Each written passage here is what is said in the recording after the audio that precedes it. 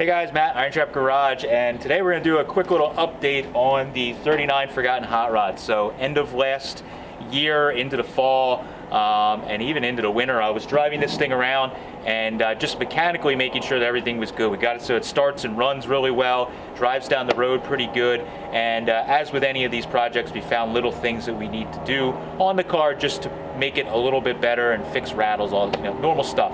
Um, so we got that to do in the next coming videos. But the thing we're gonna do in this video that we just decided was the interior, while if you loved it or hated it, we weren't really huge fans of those seat covers, but they got the job done just so we could drive the car around last year. Um, and we want to do something with the interior. So um, we've been working on getting some new interior for the car made here locally. And uh, we are just about ready to pick that up and throw it in the car. So we're going to be doing some uh, interior install on this, which will change the look of the car inside uh, quite a bit. And Steve and I are actually going to work on making a rubber rear mat. Um, the front mat on these 37 to 9 and even 40s, they offer a front mat that's reproduction, just slides in and it's like the original ones. For whatever reason, I don't know, uh, I don't know the details on 37 to 40s, but um, there's no rear mat available aftermarket that I could find. So um, I have some of this uh, rubber mat that I've gotten off Amazon. It's like a pebble mat that comes in a real wide length. I actually have it in the Pagoda City Coupe for the floor covering. Works really good. I've had it in that car for five, six years. It's been super durable and has worked well. And it also kind of looks old school. So we're going to take some of that, put it in the back here, make a floor covering, and then we're going to go pick our interior up, throw it in, and see how it looks. All right, so I'll show you guys this floor covering, what we got. I ordered off Amazon. Um, that's where you can you can pick this up. We'll put a link in the description um, for what I use. But it's got this cool like pebbled pattern to it, which I think is kind of neat. It just doesn't look, you know, it doesn't look like it's a floor runner, so to speak, but that's kind of how they, it's sold. Um, I got the huge roll. I think it was like uh, a little over a hundred bucks, maybe. It maybe it was 80 bucks. We'll have to look. But um, for this whole roll, it's like, I don't know if it was 50 feet or something, but I like that it's a long, um, it's like a four foot wide section, so it can pretty much fit in most any car um, that you need. It should fit in the interior. So stuff's pretty pliable. It's eighth inch thick. Um, so it's not super thin, but it's also not um, so it's not so thin that it's going to tear very easily, but it's not so thick it's going to bunch up and look weird. So um, that's the stuff. We're going to get this cut open, rolled out, and uh, and then we can start laying it in the car and see if we can make a piece up. All right, so we got that roll. I measured it. It's actually 49 inches tall or wide, and then it's obviously like a 50 foot roll. So uh, measuring the width of the car here, uh, we are at roughly 52 inches, not even including what we have to roll over the tunnel here. So that would require, let's say, another inch or so, potentially. Um, so it's not wide enough just to put it like that, but it is to our other rubber mat here, it is uh, 36 and a, let's say, a half if we want to overlap a little bit, so quarter inch overlap. So 36 and a half is what we need, so it's 39, so it's actually perfect. We can use that piece and put it the width wise, and we can just roll our piece out and uh, you know make it whatever length we need, and then we can just cut it. It's basically a square here, which is kind of nice, and then we might think we might just glue pieces in or something right there. So um, so yeah, we're gonna get that cut open, we'll roll it out, and see if we can get something to kind of conform here. We may have to use some spray foam and whatnot to get it uh, to uh, stay down.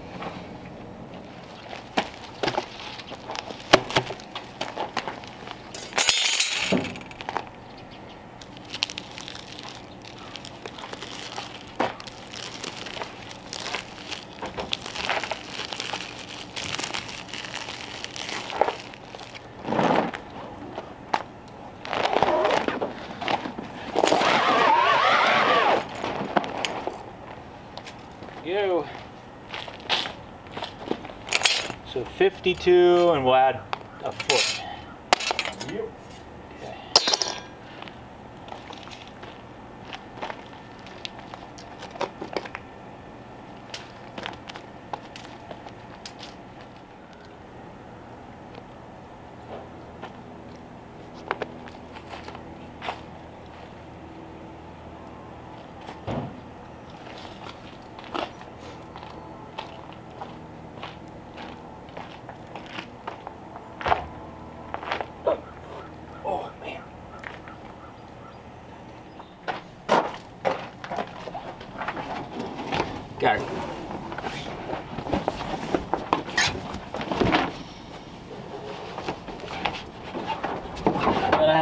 Have. I know that. Mm-hmm. We can put it fully Right under this. underneath, yeah.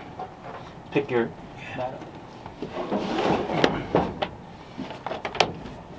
Go forward enough just so it disappears.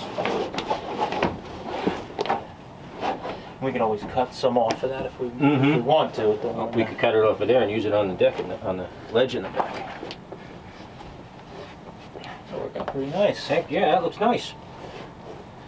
It's amazing how little finish, how little touches make it look more, so much more finished. Yes.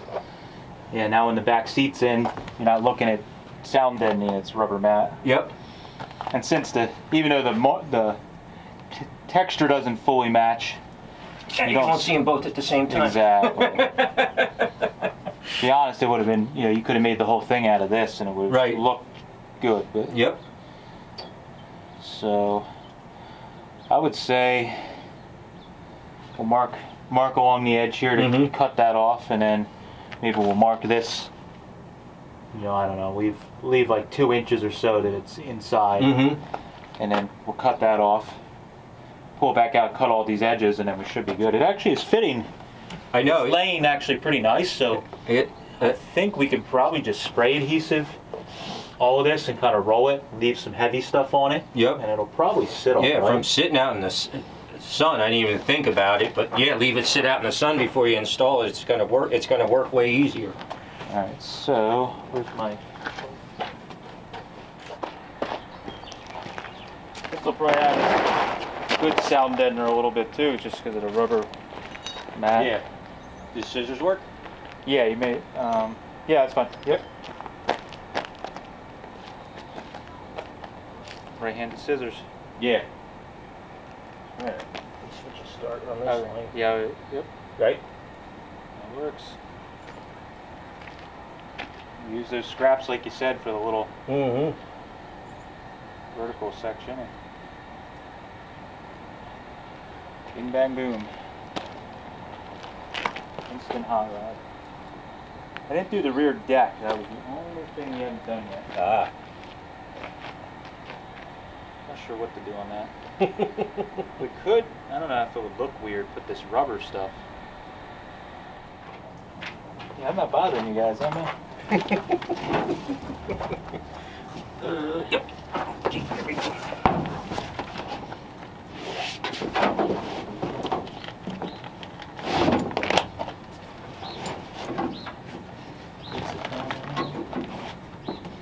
Okay, doesn't look terrible. You need to come your way. What do I have? A bunch extra here. Yeah, I can come this way, so I'm probably good about there. We got to pull this down. Yep. So it, You still have more there? Uh, I can always trim it. As- Yeah, I, I need a little more on this side. Oh, okay. Okay, that's good. Now we'll go. It's not bad. Goes right to the edge there. Nice, yep. Goes on this side too. And we can just cut that little Yep. ear off, piece off, and we'll be good.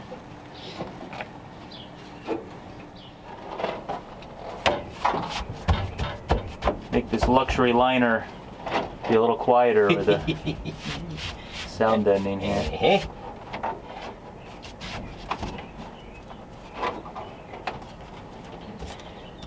Got to get rid of the 3,000 rattles, and we'll be doing all right. Exactly, yeah.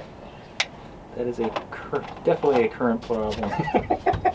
I think putting window fuzzies in and all that stuff. All that ma- all that makes a huge difference, yep. To break down and do it.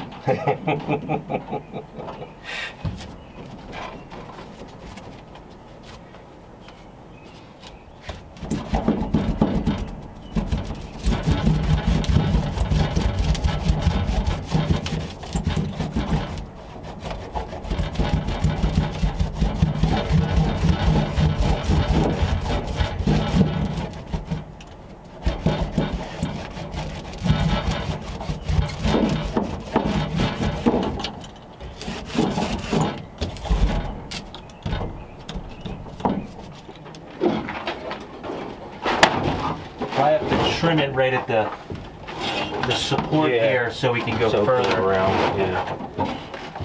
Yeah, come over this way a little bit. That's, I'm right at the, Yeah, oh, I'll have Edge to honestly, it's you could almost leave it just with Yeah. the way it's sitting. It's not really that. No, this side is right at You the can, edge. if This you side. pulled it a little bit, Little bit. so roll just a tiny bit on your side. Yeah, that's come back my way a little more. It's not much, just like that. Yeah. Yeah, that's. I'd say we leave that alone. Heck yeah. And then just go just a little more. Like you- I was thinking we could try and get it to right where this edge right here is. Mm-hmm. I'll be kind of like right where the seat, uh, the seat bottom kind of sits. Yep.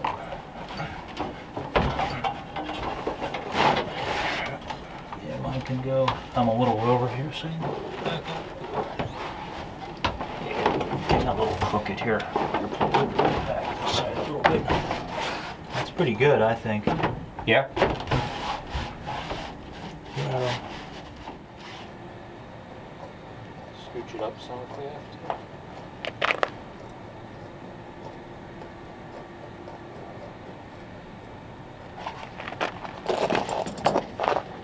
Oh, that's looking pretty good. Yeah.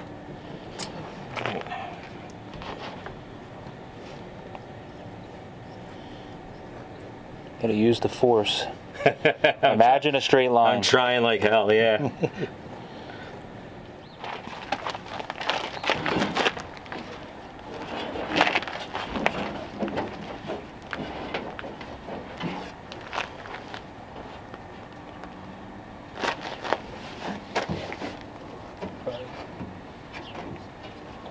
Not too bad.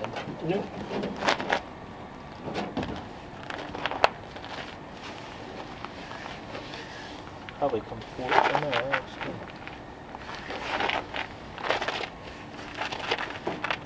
Try to trim a little bit. maybe a little bit on that one. All right, so got the trunk mat made, and we have the back floor mat made, and it's that's a little hard to see in here, but much better. Obviously, this one's all dirty from driving the car around. We got that one back in there. We didn't do anything where the seat is. Obviously, we're be throwing that in tomorrow, picking that all up. But got that all in. We actually found a piece of seal left over from the Schroll Coupe trunk seal section, so we put a little seal in there so the trunk will slam shut and uh, got some glue on it. So we're going to shut this leave it sit overnight. So the glue sets and uh, yeah we're looking pretty good. But now finally the car has a full floor covering which is pretty exciting. I can't wait to get the, the seats in here and see it, and the door cards and see how everything looks. So I'll shut up and come back tomorrow. When we were here. yeah. Yeah. Yeah, you could see him and his little red car come in the driveway. yeah he did tell me they watched the builders for a little while Yep. Alright.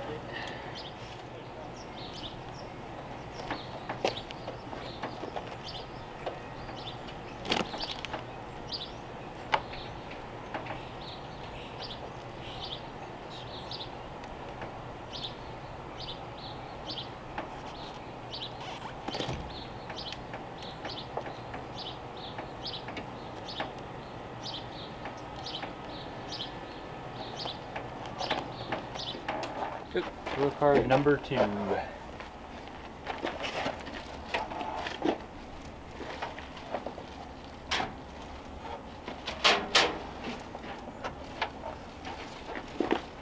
Baby.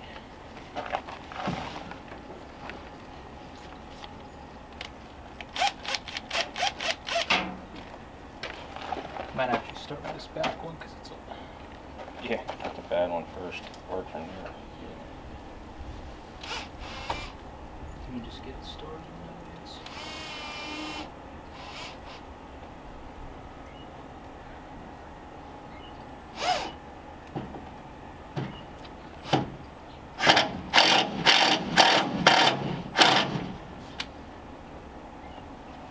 So we started.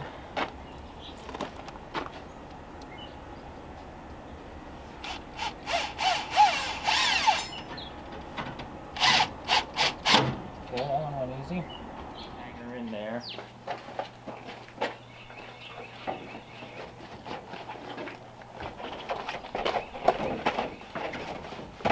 Screws already.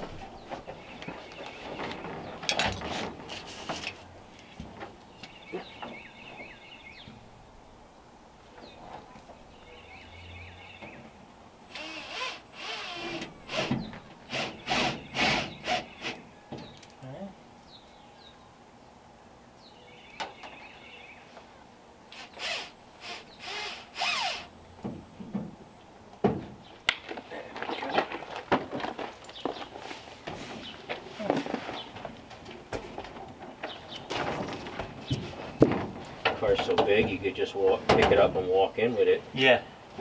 Do you want to cut the rear floor mat, or for the trunk, or do you want to um go around it there? Hello. Uh, okay. Hi. Hi. Can I can I unhook you? If we're gonna do this. Moon. He's looking for chipmunks. Oh my. Where are they? Where are they? Thank you, man. I appreciate all that expert help you just gave. Mm-hmm. Well, if I I could punch a hole quick. You know what? I think I'm gonna do that. Okay. Because then the foot will sit down on the. Give me one second, buddy. Give me that screwdriver.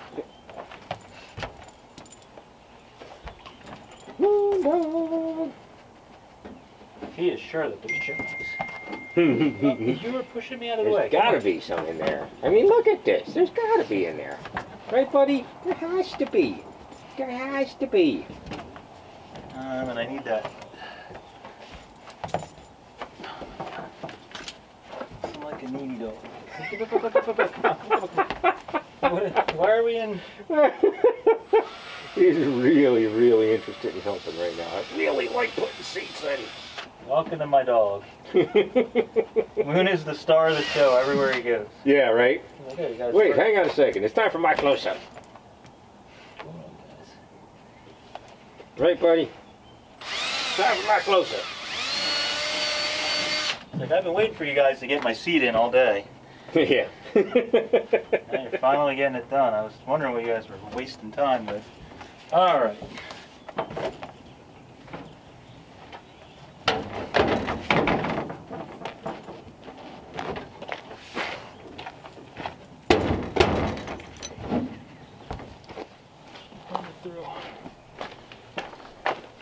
Buddy?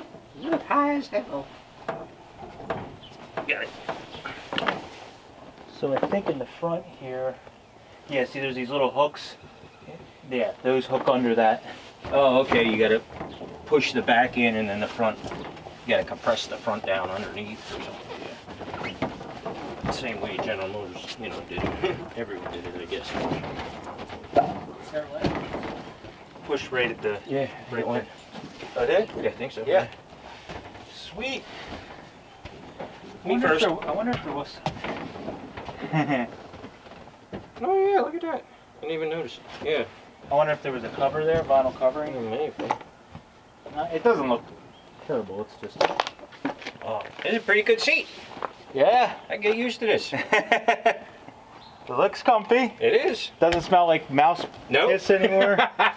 Nope. No, it, Nice. do- it doesn't smell like a crime scene anymore. All right, I think it's time for Dun dun front dun. seat. Again, with the big car that's like.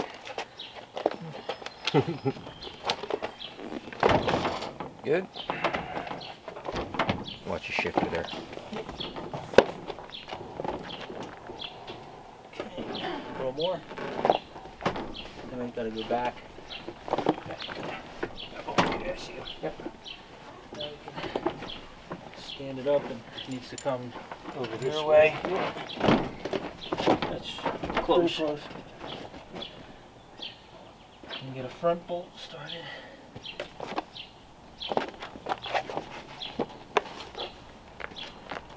Over here. I'm gonna go forward a little bit. I do too.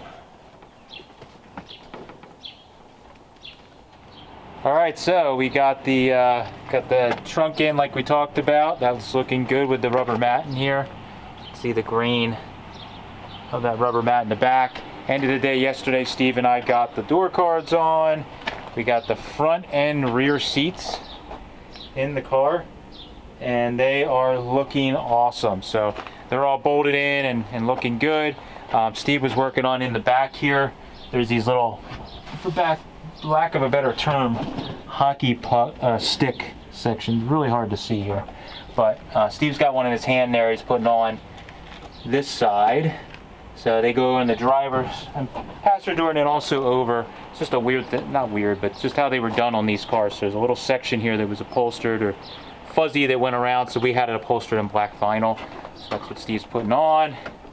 I got the door handles and window cranks on. Mike scavenged at the warehouse and found these really cool kind of Art Deco looking uh, set of handles and knobs. And then I used the Shoebox Ford escutcheons. they are my favorite. They look really, really cool. And they have the spring built into them. And then in the back there, you can see I added them for the rear windows. So we're coming along. We're just about ready to, uh, once we get these last couple pieces on, we're ready to take it for a drive for some lunch or something because this thing's looking cool. It's turning out good. Yes. There we go. So you can see how this finishes out here around the edge and covers it and then it butts right up at the bottom. The door card and it looks nice once it's all installed. So one more to go and we are ready to put the done stamp on this for now. Super excited. All right, fancy new seats. This is the nicest interior with the worst exterior ever. seats still feel like they're super far, like Cali. It's not. It's not as bad for me. It was. The seats definitely moved forward a little bit now. Before I was like. I remember. I was like a little kid trying to drive his drive, like a like a little eight year old kid stole his dad's car and he's with like wood blocks. Yeah. Glued to his shoes. All right fancy window cranks. Yeah, now. I know, right? We can roll the windows down easily without stabbing your hand with the jagged uh, ones. I say, I, did a good job picking out these window cranks. Yeah, they, they are actually pretty good. the so. seats don't feel as scratchy, I will say that. Well, and they're like, they're soft, but they're firm. Like yeah. before it was like, he like fell into the seat because there was no padding on it at yeah. all. At least now. I would remember before because we had them just tucked under. This would ride up a little bit and you could feel it scratching oh, on, yeah. your love hand, on my love handles. Yeah, it was, uh, th th those covers served their purpose, but they weren't great. No. We gotta get this working next. Yeah, that's gonna be on Steve's to-do list. He's gonna take care of that uh, wiring. We're gonna put a res resistor on oh, it because it's that, six that wiring it's got, some, it's got some life left. Yeah. It's not totally chewed through. some shrink tubing, you'd be good.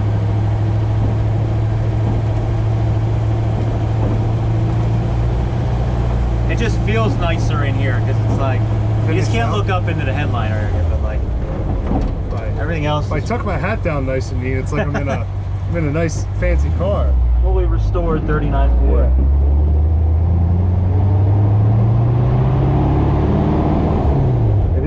got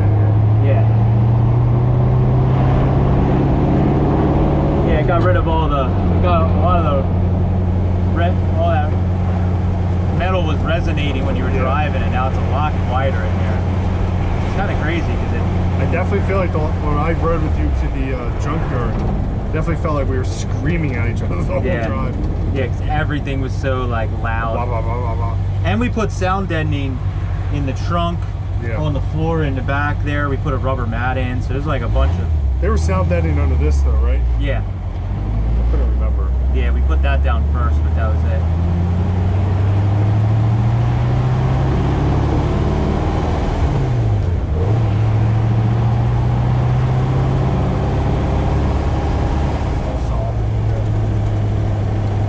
The windshield wipers on. oh, oh, they don't work? Yeah, they don't work. We gotta hook them up. It may work, it's still a vacuum wiper. Yeah. So, oh, it still has a vacuum light on it notice that? that uh, yeah. don't, don't feel that. That is like main chip, super hard. We'll put that on Steve's to-do list, see if you can put a vacuum line in and... Down through the pillar. Yeah. It's basically a stock T-Bird engine, so it'll actually make vacuum, yeah. so get some kind of wiper going in here. I thought we might have had an electric conversion I had laying around. I was thinking about putting in. Uh, I gotta see what we have. I, I have a couple extras. I have one for the 34. I I've set aside. Well, but these are a little different. The 34 is just a single arm. These have a, a real short shaft because they have the linkage. Right. Moon's like, what the hell, man? I didn't get to go. What the? I wanted dog treats. Yeah. Big stretch. Working hard, bud?